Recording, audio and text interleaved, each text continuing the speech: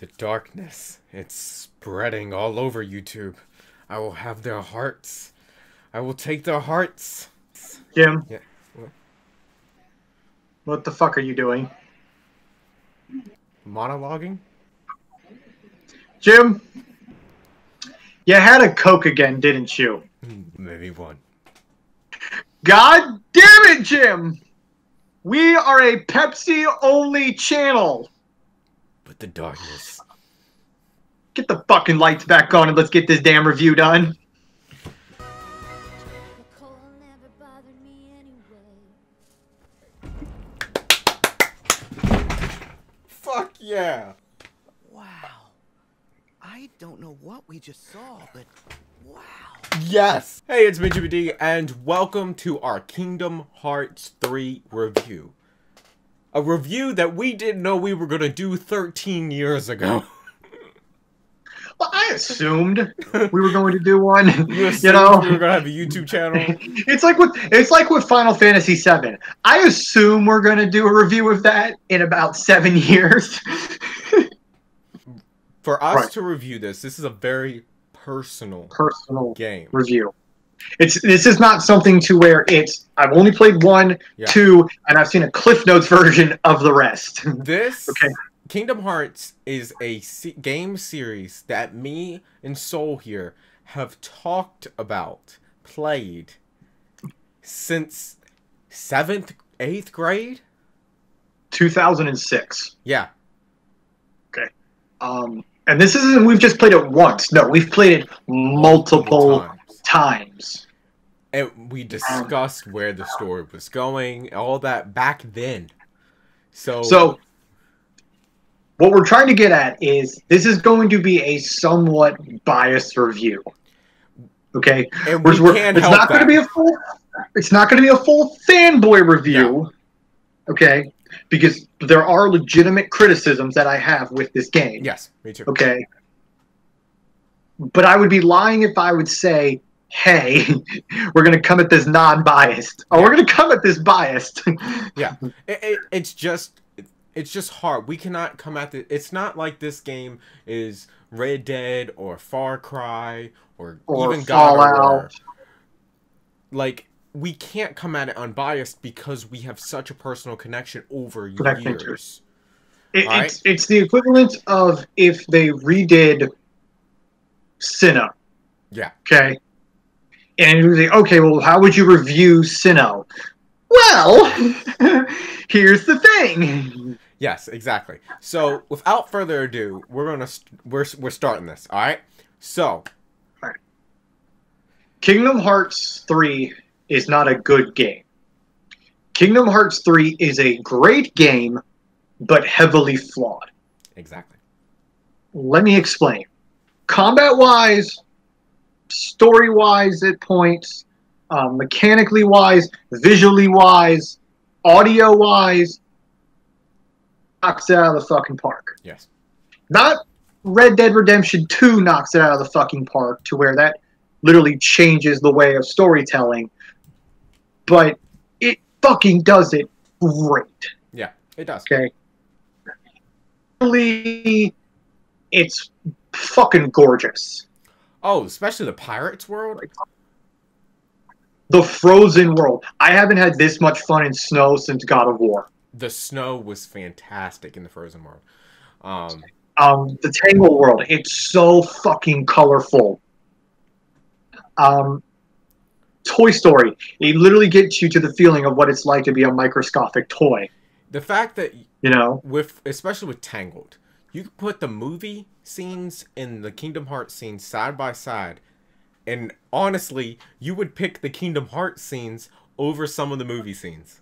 No, that's what people did. Like when they when in the Frozen world they did Let It Go. Yeah. They did a shot by shot comparison of the movie and the game, and it pretty much looks almost identical. Yeah. Video wise, it's fucking great. Yes. Okay, I for one, I've always liked um, Face My Fears with Skrillex. Now, a lot of people don't like it because of Skrillex It's still and good. um, the original uh, Hakaru no Utsu, I think, is what the theme is. Um, it's not my favorite. My favorite is still the the the intro song to Kingdom Hearts 2. hmm That's still my favorite. But this is a very, very, very close second. Yeah. Um. Now we're gonna get into the more double-edged sword stuff, combat-wise. I have, I have a love-hate relationship with the combat. Yeah, I, I, I'll, I'll, I'll, I do too, and I'll explain that after you. I love the variety, the different Keyblade archetypes, the different enemy types, the fact that it's both nobody's heartless and unversed. Okay. Um, I hate the fact that attractions are fucking broken. Okay. They are. And that after a while, it gets very repetitive of XXXXXX smash, triangle, XXXXXXX, Super, XXXXXXX, Blizzard, XXXXXX, Thunder. So, I, I agree. Um, the attractions are broken because is I knew as soon as Buzz Lightyear's blaster showed up, I was like, okay, well, I at least got two stages clear with this alone. Um, I've I've taken down multiple bars of boss's health with the blaster in game. Yeah.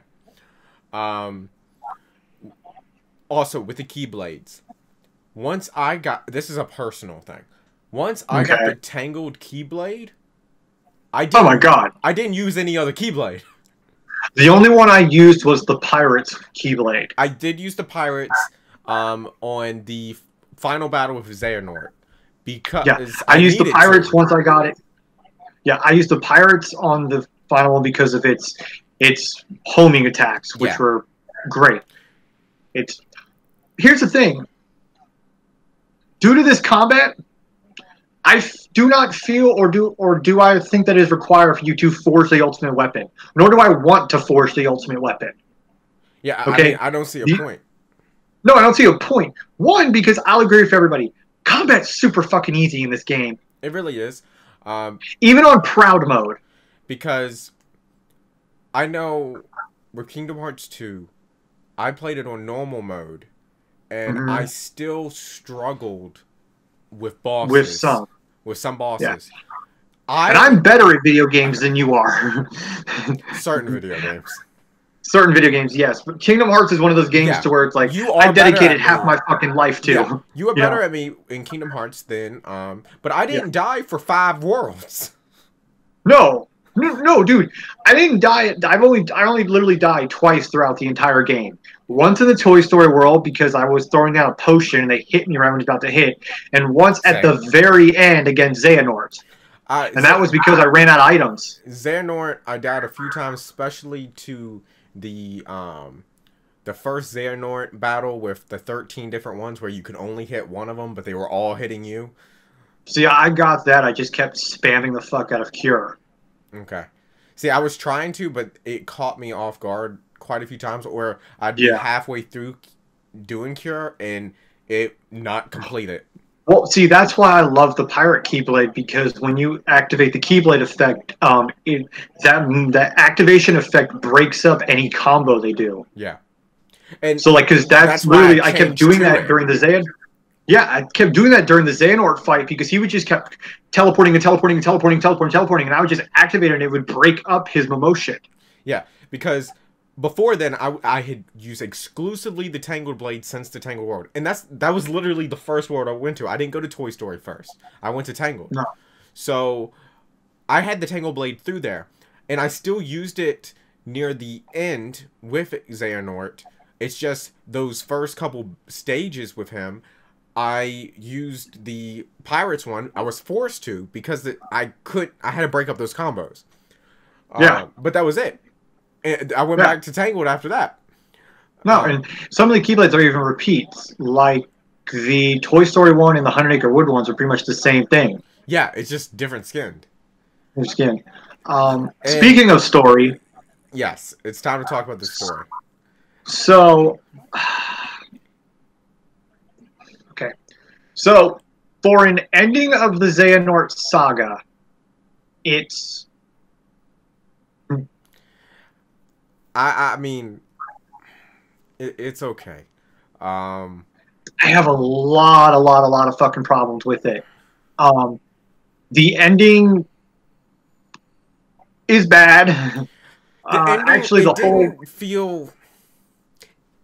It wasn't deserved in a way. I I don't no, think that's the because they word for it. they still had to set up for the future games. Yeah. So Luke Skywalker came and saved uh Xehanort Xehanort, through the power of friendship and went to heaven Friendship. together. Um ye- which uh, um, they kept reinstating that using the power of awakening, using the power of awakening, there are consequences, there are consequences, there are consequences. And the only time that ever came into effect is because you wanted to have a bullshit, you know, fake out ending of like, well, they rescued Kairi, but oh no, Sora's not here. So it's to kind of assume that, oh, hey, he might have died or he might not have shown back up. But if you watch the secret ending, it pretty much proves that, yeah, that power of waking is bullshit because he's still alive. and the fact is he his whole mission for leaving was to find Kairi, but the others did it off screen. Yeah. Um, with that being said, Final World has some of the most, oh my god, It does. moments throughout the entire series. It has shit that fanboy fanfiction writers can own. It's their wet dream. If you watched my stream, if not, you'll see the clip in a second. I'm not even talking about that. I'm just talking about the fights, the builds up of Yeah. teaming up against um, King Mickey to fight the the Organization 13 members, teaming up against Axel, Xion, and Roxas to fight Honestly, Saïx. I- and their whole thing. I loved those team ups. I hated that you had to go through two of them in order to get to the net save, which was aggravating because you literally would have to work for an hour, hour and a half in order to get to the net save, and you Oh, and you know yeah, it, people it's a total boss rush. yeah. But the thing is, an hour and a, people play games, and if you're not like me and stream it, or you're not the die hard and you're just a casual person playing, you might not have an hour and a half to rush oh, through Oh, the boss to before you can get to that save. Oh, trust me, I had to make sure that I uh, power rushed through that before I. Like I had to make sure I took time off because I was literally telling myself before I fought Xehanort, I don't know how long this fight can be. Let me get to a point to where I have time to dedicate myself to it. Exactly. Um, With that being said, I still love the fuck out of this game. I don't. It, honest to God, it was it. I have it's in my major- three video games. it's not in my top three. It's not. I'm telling you right now, it's not in my top three. It's in my top three. I have major, major issues with this game. I do. But I have not had this much fun having a gigantic grin across my face playing a video game in a long time. I don't think I stopped smiling during the entire thing of this game. I was smiling and crying playing Tangled in Toy Story. Yeah. Um, I I, I cried. because I didn't want people to see me crying. But I, I cried at the reunion of um, Axel, Roxas, and Xion. yeah, that that was emotional. because you know if you're that is a moment where that is for fans if you've been emotionally invested with these characters for so long it is so great to see these these moments finally pay off Yeah, Exactly. you know? Um. Now, like with the reveal of Xigbar being the master's apprentice you know if you've played all these games that's a huge fucking moment yeah. Um, let's talk about the worlds. Um, um all the worlds are Uh, unique are unique. They're very different from each other. But there are a couple that are very weak compared to others. others. There are. I think my problem with this was Nomura and his team was so making each world feel unique in its own way. making it feel like this is a one of a kind original world that he didn't really focus on. Okay, how do we properly wrap up these worlds? Yes, especially Because there are Story. several worlds. There are several worlds to where it feels like this. It feels like okay, we need to go back for a second time, and not one of these come back on your own free time to see how everything's you know happening. Yeah.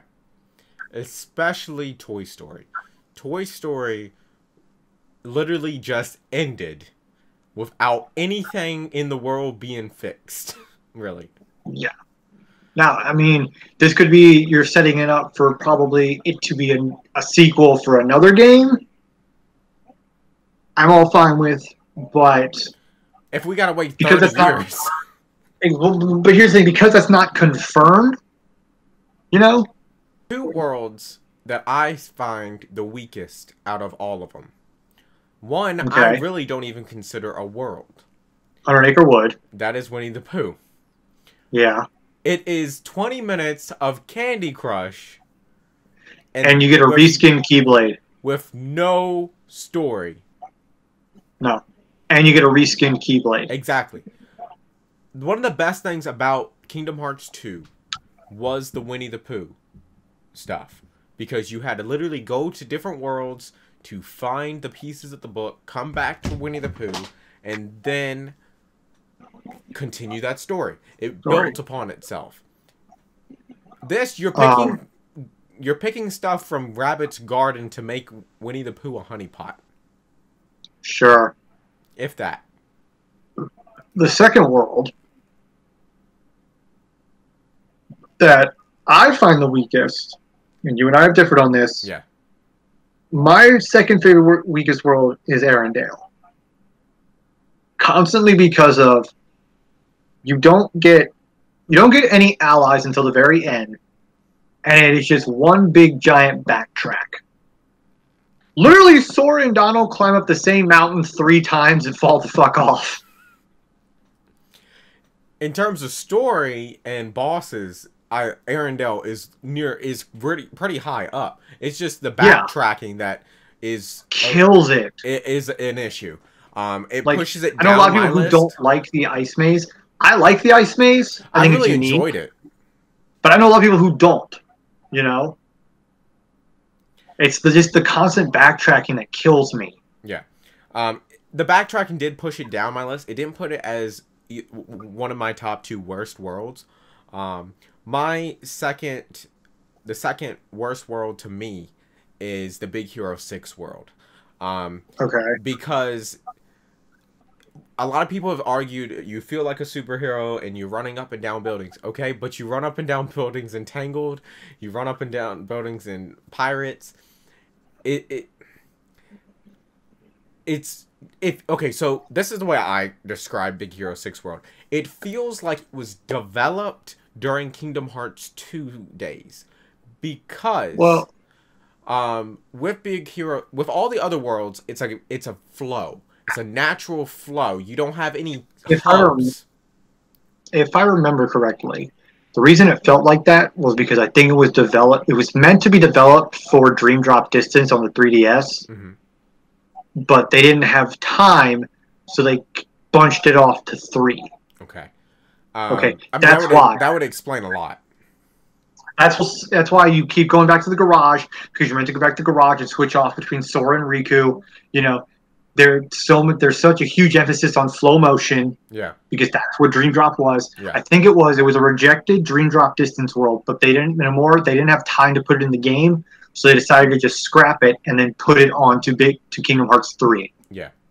I mean, that would explain a lot because dream drop does have that constant airflow um Yeah, mechanic Slow motion, and it's also about okay, you go back to the garage and you switch between Sora and Riku. Yeah, and and that's why I'm talking about Kingdom Hearts 2 style because Kingdom Hearts 2 was there was hubs you would go to to tell when Yeah. you're tell a character when you're ready. And like that that's honestly how Dream Drop is cuz I I own it. Um Yeah. so I mean the story it was okay if it wasn't it's it's at this point now to where it's like if you're it's really hard to gripe about the Kingdom Hearts story because it's gotten so, So out there. yeah, You know, it's one of those where it's like, no shit, the story is confusing. Okay, but I, I mean, even you either terms- get it or you don't. even in terms of uh, mo- like move Disney movie style. Um, Yeah. it, it just It's good. it- it's it's it's decent. Um, That's that, that's pretty much all I I have to really say. Um, Yeah. What would you give a grade for this? um, if I had to give it a grade, I probably would give Kingdom Hearts three a B. I'm I'm feeling the same way. I'm feeling about a solid B. Like I'm, I was thinking B plus, but I was thinking B minus, but I'm like, no, it's I was thinking B plus because of how much fun I had in it. But yeah. in terms of just game wise, B. I'm thinking B because I was I did have a blast playing this, but like I said, there's a lot of I have a lot of problems with this game. Yeah. Okay. Um, a lot of like not technical wise, but like story wise, gameplay wise, you know. Like a lot of it is fun, but there's really no emphasis for me to really like this is I think the first Kingdom Hearts game in a long time. There's really no emphasis for me to want to go back and replay it even on like Yeah. a harder mode. Yeah, I do have to say, playing as Aqua was fucking amazing. Oh Um, my gosh. Fighting her was a I oh my god. oh my god, that was fuck. That was oh god, that was that was one of my favorite boss battles. Uh, Just, I mean, Aqua is one of my favorite characters outside of the main three. But oh yeah. Oh, she's so great. Um, but anyways, that's going to do it for this video. Thank you so much for watching. I hope you enjoyed it. And like always, I will see you in the next one. Later. Geek out.